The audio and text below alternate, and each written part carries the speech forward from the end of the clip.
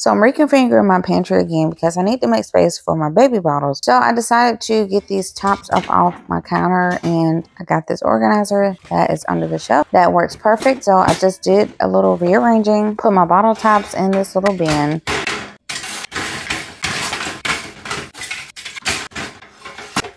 And now I've made space for my baby bottles. And yes, I do want my baby bottles to be easily accessible here in my pantry instead of my cabinet. I love this two-tier acrylic pull-out organizer. You can use this for so many things around your home.